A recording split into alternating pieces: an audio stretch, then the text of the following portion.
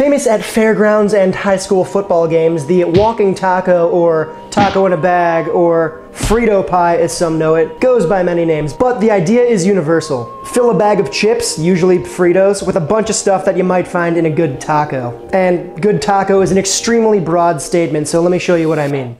Let's start with the braise because it takes the longest. In a blender, add one 7.5 ounce can of chipotles and adobo, then fill the can halfway with water and pour that in too. Add 2 tablespoons of apple cider vinegar, the juice of a lime, 2 teaspoons of cumin, and 1 tablespoon of dried oregano, then blend into a smooth puree and set it aside.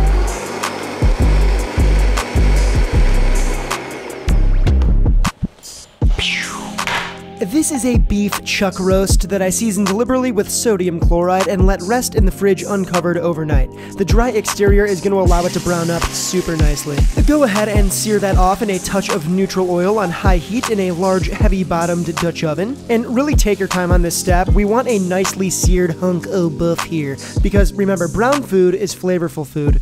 Once you've seared all the sides of the roast, lower the heat to medium and pour over the chipotle mixture. Grab yourself two bottles of your favorite dark cerveza and pour that in too.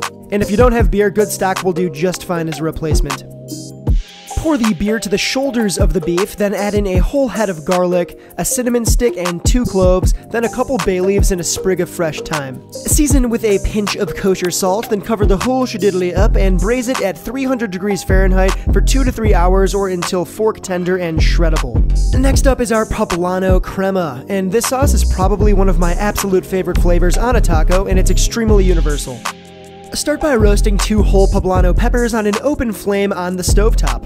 We're looking for serious char here. We want to burn the skin to black so that it peels off easily. Once the peppers are charred and blackened, transfer them to a bowl and cover with plastic wrap.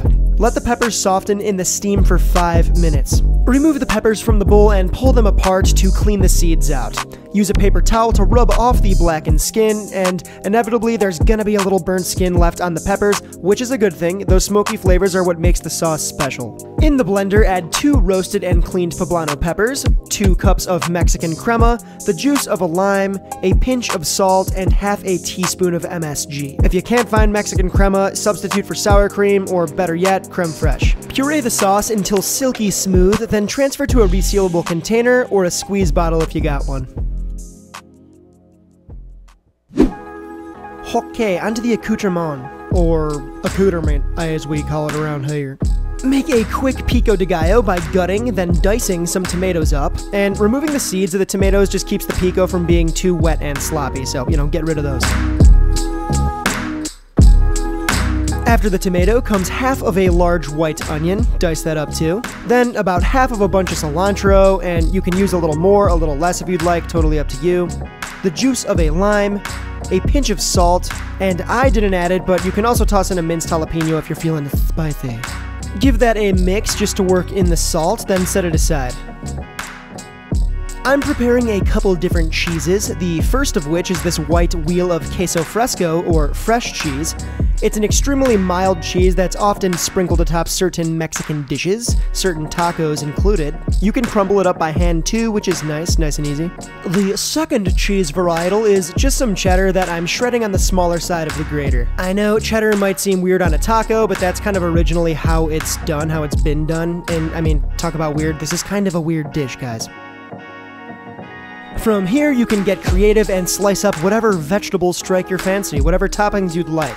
I'm going for some cabbage, iceberg lettuce for shredded lettuce, aka shreddus, jalapenos, onion, avocado, more cilantro, you get the idea.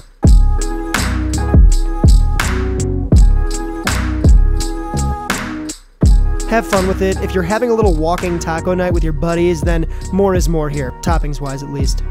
By now, the beef should be shreddy. Get it? Remove the beef from the oven, then let it cool down until you can easily handle it. Or you can pop some rubber gloves over some heat resistant ones, a little trick that I picked up from some pro barbecue guys this summer. Works like a charm. Regardless, you'll want to shred up all of the beef, just making sure to remove any of the bay leaves, thyme stems, and any garlic that didn't completely melt away during the cooking process. And from here, we are ready to build our tacos that aren't actually tacos. The classic OG chip to use to make a walking taco are definitely Fritos corn chips. However, anything really works. I'm talking Fritos, Doritos, Cheetos, really anything in the Eatos family is gonna get the job done here. Grab yourself a large bag of your chip of choice, then slice it horizontally, folding over the edges to make it look nice and neat. Plop the bag on the cutting board so it sits upright, then begin loading in your toppings. I'm making two bags here, the first of which is going to be a fully loaded taco americano type vibe. We aren't holding back here, everything is going in the bag. I'm talking seasoned cabbage, shredded, black beans, jalapenos, pico, onions, and cilantro, and of course, our shredded chipotle beef, followed by a sprinkle of cheddar cheese, which of course is classic when talking about a walking taco.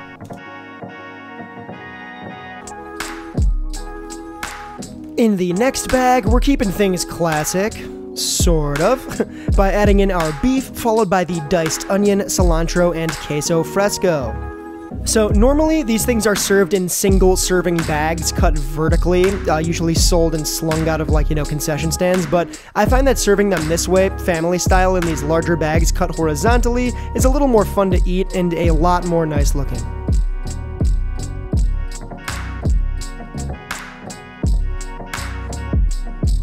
Finish each taco in a bag with a zigzag of our poblano crema, and boom, you are ready to crush. Look at these bad boys. Come on. Dang, I say.